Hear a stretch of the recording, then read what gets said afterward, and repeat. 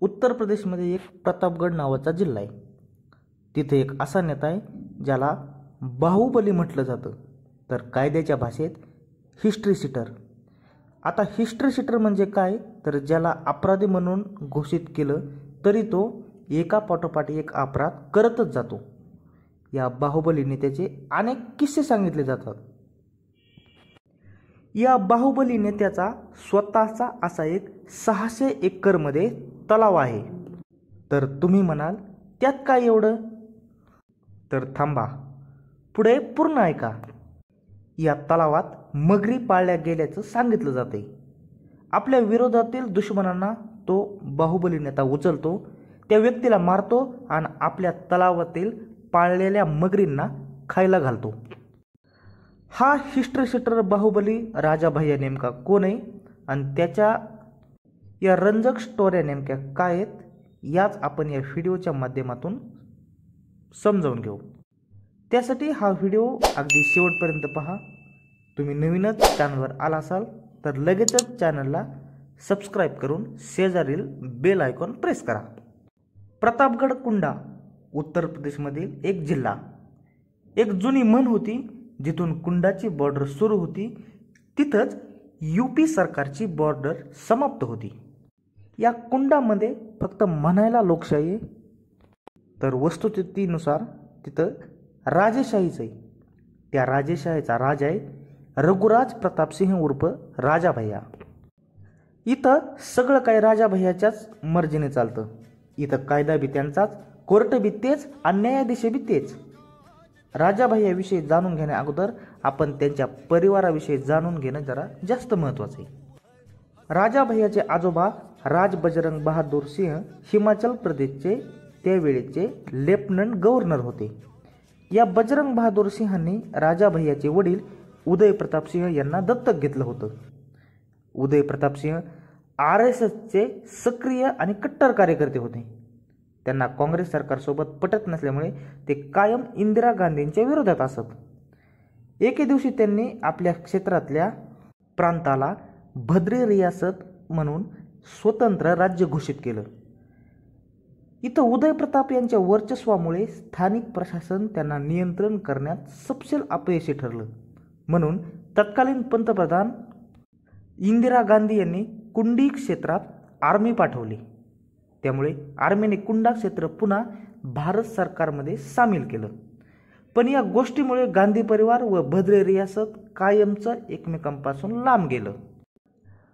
राजाभाई जन्म त्यांच्या दहावीच्या मार्कशीटनुसार एकोणीस ऑक्टोबर एकोणीसशे सदोतीस रोजीचा. पण दोन हजार बाराच्या विधानसभा निवडणुकीदरम्यान त्यांनी आपलं वय आता अडोतीस वर्ष आहे असं निवडणूक अर्जाच्या शपथपत्रावर नोंदवलं. त्यांनी पहिली निवडणूक एकोणीसशे त्र्याण्णव साली लढवली होती. त्या आधारावर त्यांनी पहिली निवडणूक वयाच्या एकोणीसव्या वर्षातच लढून आमदार झाले. तर आमदार होण्यासाठी कमीत कमी वय लागतं हे पंचवीस वर्ष. दोन हजार बारामध्ये वयाच्या प्रश्नावर विचारलेल्या प्रश्नावर त्यांनी असं सांगितलं की प्रमाणपत्रावर लिहिलेल्या वयाला क्लार्क टायपिस्ट जिम्मेदार आहे. ज्याने चुकीचं वय टाईप केलं. वय लपवायला काय मी महिला आहे का? असा उलट प्रतिप्रश्न त्यांनी केला. प्रतापगड कुंडामध्ये राजा भैयाला येथील लोक राजाच मानतात आणि निवडणुकीत मत पण देतात. एकोणीसशे पंच्याण्णवमध्ये एका कुंडामधील एका मुस्लिम बहुसंख्य गावात आग लावली गेली. तीन मुस्लिम मुलींसोबत बलात्कार करून खून केले.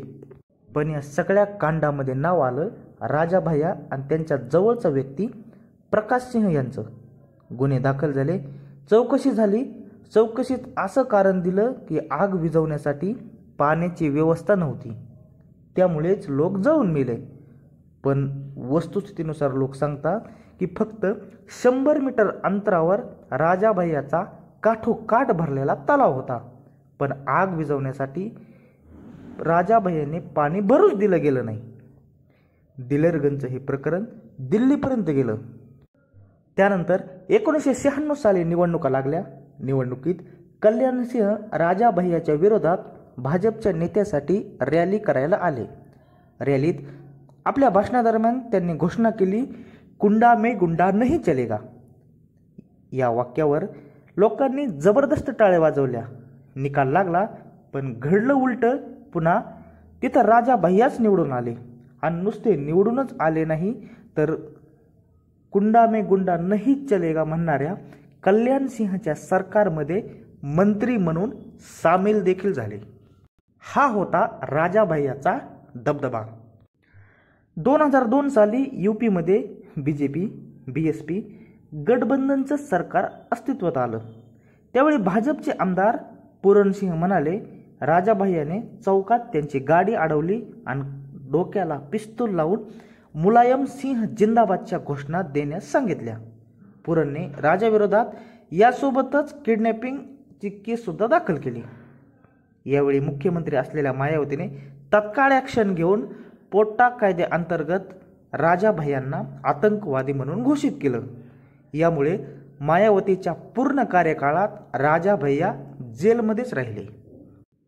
त्यासोबतच ज्या तलावात राजाभैया दुश्मन मारून मगरींना खायला घालतात त्या तलावाची संपूर्ण तपासणी करण्याचे मायावतींनी आदेश दिले. या तपासणीत एक नरकंकाल मिळून आलं. पुढे पोलीस तपासात असं उघड झालं की ते नरकंकाल संतोष मिश्रा नावाच्या व्यक्तीचं होतं. संतोष मिश्रा यांची स्कूटर राजा भैयाच्या गाडीला धडकली म्हणून राजा भैयाच्या माणसांनी संतोषला उचलून नेलं. त्याला मारहाण करून खून केला. त्याचा मृतदेह याच तलावात फेकला गेला. मध्यंतरी मायावतींची सत्ता गेली आणि मुलायम सिंह सत्तेत आले. त्यांनी राजा भैयावरच्या सगळ्या केस मागे घेतल्या. यानंतर दोन हजार तेरामध्ये त्यांच्यावर D S P Zia Ulhaq यांच्या खुनाचा पण आरोप करण्यात आला. आतापर्यंत राजाबाया सात वेळा सात वेळा आमदार म्हणून निवडून गेलेत. सहा वेळा ते निर्दलीय आणि यावेळी स्वतःचा जनसत्ता दल नावाचा पार्टी स्थापन करून निवडून गेलेत. तर मित्रांनो ही होती युपीचा दबंग नेता राजाबाया उर्फ रघुराज प्रतापसिंह यांची कहाणी. तुम्हाला ही स्टोरी कशी वाटली? व्हिडिओ आवडला असेल तर व्हिडिओला लाईक करा. आणि अशाच नवनवीन व्हिडिओसाठी आमचं हे चॅनल शेवटी जाता जाता सबस्क्राईब करूनच जा. धन्यवाद.